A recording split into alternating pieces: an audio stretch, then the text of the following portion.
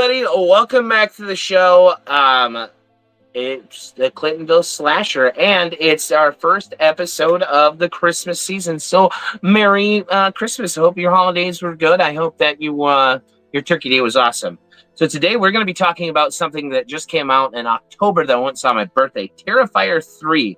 After surviving Art the Clown's Halloween massacre, Sierra Sienna and her brother struggle to rebuild their shattered lives. As the holiday season approaches, they try to embrace the Christmas spirit and leave the horrors of the past behind. However, just when they think they're safe, Art returns determined to ruin their holiday and sheer into nightmares.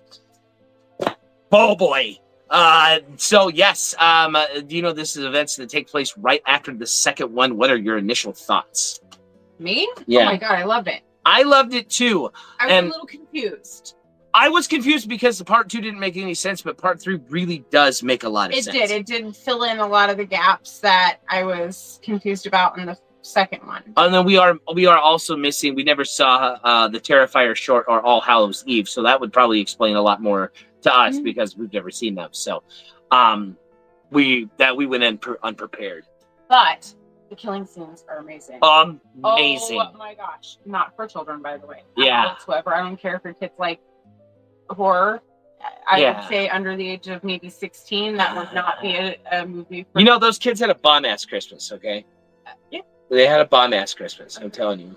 Yeah. Dude, that part where they they open up the Christmas presents, Yeah. I was I was expecting like a human head, and that kid rips open the box and Oh. just boom. Yes. And if you have Oh any my God. Like, Oh, dude, the opening scene, that kid gets an axe like to his body. The the kill scenes in this movie are so Okay, fucking so brutal. They don't at the beginning. They don't show the initial like him beating uh, or like killing the kid. Yeah, they show no. the aftermath yeah. and um. Really. anyway, um, no, they do show the aftermath, and they do show. Uh, it's just it was such a bloody massacre. Like the shower scene was probably my favorite. You know. Yes, where the the guy gets killed. Yeah, the girl's well, talking and about too. but- yeah. The, well, the girl was like hyping him up, like I want to know what it look, what it's like to look at Art's eyes right before you die.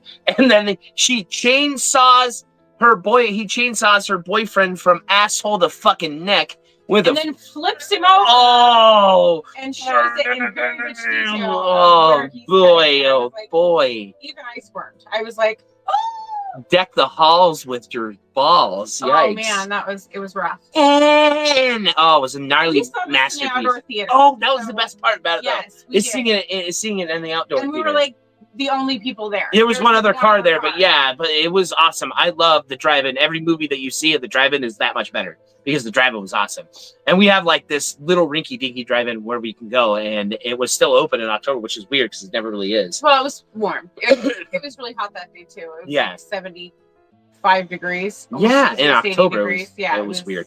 Anyway, um, so yeah, it, the the Christmas experience uh for this movie was probably my favorite holiday massacre movie. Now it'll definitely be in my rotation of uh Christmas, horror movies. Yeah. Yeah, definitely in my Christmas horror rotation because I mean, fuck, it was just it, the special effects were great. Uh, the acting is awesome. I love the the ending was phenomenal. Yeah. Um, you know, and Jonathan, the the acting, Jonathan and Sie- Sienna, the the characters that play them, uh, their their acting was spot on. Very I good. Super sad that some of the characters died. Yeah, I I was was- too. I like when they kill her mom though, and they shove that fucking tube through her and then feed the rats down her fucking throat. That was rough. That was I- fucking cool. I- Yeah, I couldn't. watch or he's fucking part. spreading his guts around the Christmas tree. I saw that part. I couldn't watch the part where they shoved the rat down her throat. Oh, that was so why. good. I saw them dropping it in, but then I was like, and then he cuts her open, and they like, Oh, and I was just like, I couldn't watch that part. That was the only part that I could not watch. or where she's so weird. Diddling herself with a piece of broken glass Ah. as he's as he's cutting that dude's face off. Piece of mirror, yeah, that Oh, broken. what? Who comes yeah. up with this shit? So don't good. I mean, It was, yeah. the bar scene was good too. I love I love the bar scene. You know, uh, yes, Art the yes. Clown uses a gun, which is like kind of like He not comes in as as Santa Claus. Santa Claus, and there's a guy sitting there dressed as Santa Claus with like a real beard, and Oh yeah, I love, I love the kill, the Santa Claus kill where he freezes his hand off and then Yeah, breaks it and then it, freezes his face off. Yeah. Ah, so good. So yeah, guys, check out um Terrifier 3. We fucking loved it. We can't say any more great things about it. So if you're new to the channel, please like, comment, subscribe. Happy Christmas season, everybody, and we'll see you next time. Later days. All right, I'm stupid.